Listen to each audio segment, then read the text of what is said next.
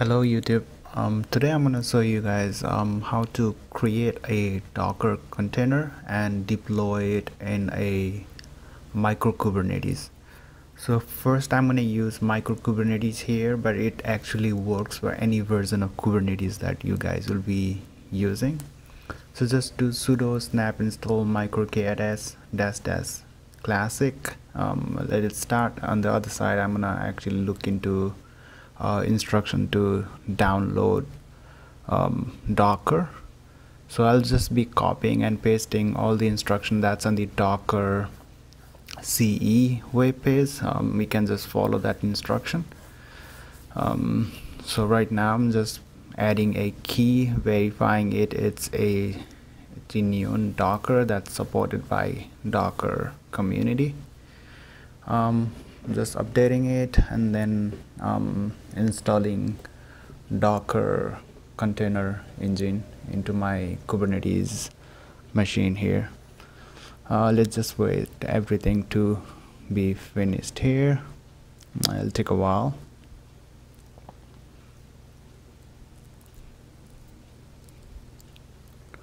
Now let's clear all of this mess here.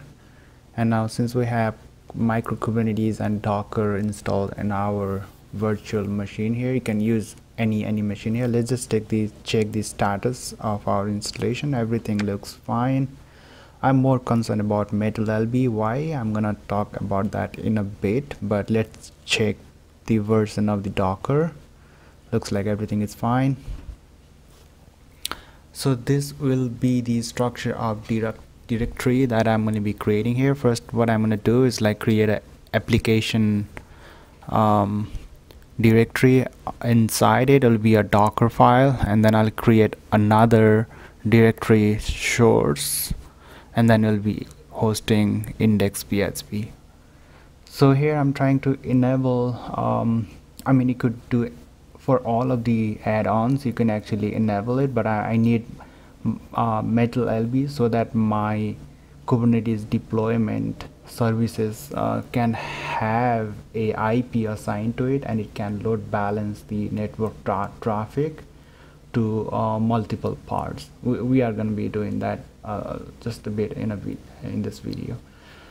So just to make it easier i'm uh, creating a kubectl instead of typing microk8s dot kubectl all every time. It'll be it'll just create my job easier here.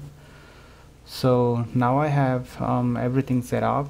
I'm gonna create a directory called application inside it. Like like I said earlier inside it will have one more directory called source. It's gonna be hosting our index file while docker file will be outside of the source file. Like I have shown that in the tree.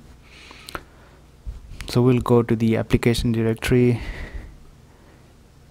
create a new directory called source and oops so I'm just gonna create gedit index.php inside source directory and just be typing a simple PHP script to echo let's say hello YouTube.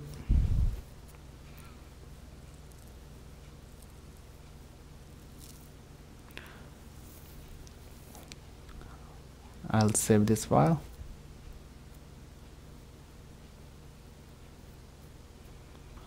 alright so let's create a docker file inside a application directory now.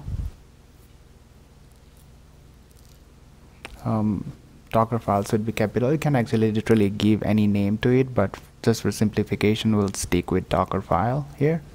So from this is very critical. Basically it extract the image file from the docker hub. I'll, I'll show you in a bit like there are already bunch of images on docker hub. So i'm going to copy from source the index file from source to var www um, html and i'm going to expose this container to um, port 80 so so basically if you just go in the docker hub you can actually find a lots of php images. I happen to choose 7.0 just uh, because it was easy but there are like lot of lots of php version as you can see in this list on your left side here. And if you scroll all the way down there are like in some instruction on how to write a sample docker file um, if you are more concerned like what is inside a uh, PHP file what is the base image for that? For this one it looks like it's running a Debian Buster Slim but it's it's very complicated file so it's out of scope for this video. But if you want to look into like what are those PHP based images made off of you can actually look into that in Docker Hub. So let's save this let's close let's clear this mess out and see if you look into the tree uh, like I saw on the left hand side it's it looks something like similar to that. So let's go into the application directory and let's build docker. Dot means like I'm in the same I'm trying to build a docker image on the same directory. That's tag and let's give it a name my app. Now it's gonna pull all the images that I earlier um, asked on my docker file. It's actually pulling it from the docker hub right now. Um, so my images is created. So I'm gonna before I push those uh, docker images into a local registry I'm gonna have to create a local registry. And that's the command to create a lo local registry. Just create a new uh, do this in a new terminal and don't close it. If you close it then you're gonna you're not gonna be able to push those docker images into your local machine. Just verifying the docker registry server is running i'm just gonna type localhost colon um, and then the port number that we chose was 5000 so this should okay there is no error. That means it's running. Our docker registry server is up and running.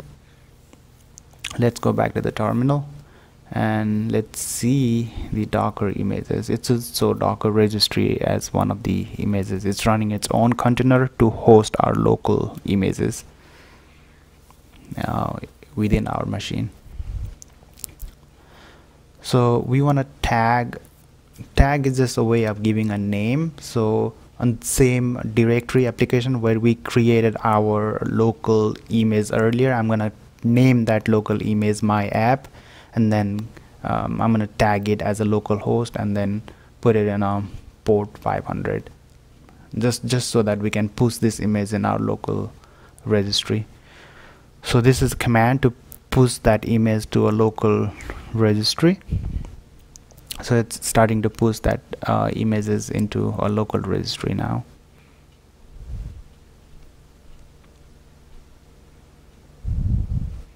Let's just give it a second. All right so our local images is in our registry. That's my app. Is something that we created on Mason machine locally but the way Kubernetes work is actually it needs to pull the image from somewhere. So that's why like we created a local docker, docker registry. You could create your own server like um, but you know that's one of the way. So there's a concept of deployment where you actually tell how many replicas that you want to de be deployed. Services actually exposes your deployment to outside world. So let's create a deployment using the images we created. So that's a command kubectl create deployment. Uh, let's give it a name um, new app. And then from image that we just created localhost um, port 500 and the name of the image was my app.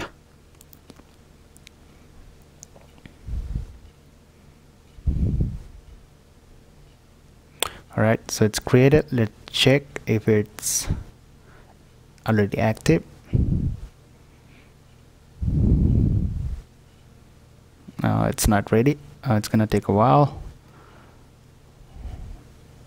let's see if it's ready okay there you go. Pod seems to be already running. So let's check the deployment. Alright there you go. There's a deployment ready. So now let's expose this deployment to the in outer world so that network can be routing could be routed to this pods. So that's how you do it. Kubectl expose deployment. Um, that's a new app that we just created and uh, we want to do it as a type load balancer.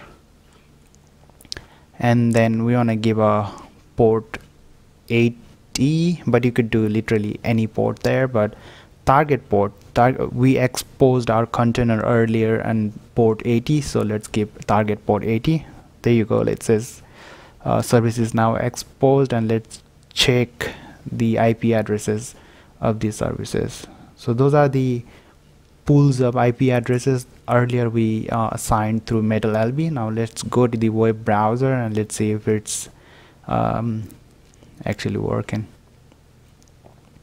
There you go. So we just created a docker image and then we deployed it in a Kubernetes already. So so let's say um, our um, pods are getting too much of a traffic and we're gonna scale it up. So that's how we do it. Now kubectl scale let's say number of replicas to be 10 for a deployment called new app. It's it's very easy. So now it's scaled. Now if you see it's actually will it'll actually start to create uh, more pods so it's creating a containers 10 of them with same uh, image that we just created earlier. So if you check a deployment now there you go like we have 10 out of 10 pods running right now so it's it can easily handle a lots of traffic. So if you want to check um, the YAML file also to say configuration file you can just say describe and, and kubectl describe deployment the name of the deployment will show you all the configuration for those uh, deployments. And if you wanna so that's my image and let's clear this out. So if you wanna edit um, a deployment after it's deployed uh, you could easily do that. Kubectl edit name of the deployment and then there you go like all the configurations are there. You can actually change the number of replicas from here or you could do it through command line whichever is easier. Um, so I didn't make any changes here.